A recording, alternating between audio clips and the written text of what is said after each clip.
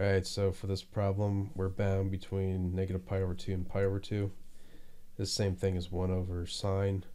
So this can actually be reduced down because we it's rationalized, it's negative 2 over root 3.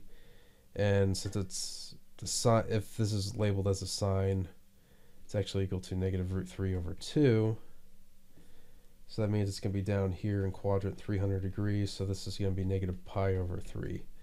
But uh, what happens is since it's the uh, cosecant, it's 1 over this, and that's how you get the 2 over root 3, and they rationalized it, so you get negative 2 root 3 over 3. So uh, the inverse of the cosecant in this case is negative pi over 3. That's it. Hope that helps.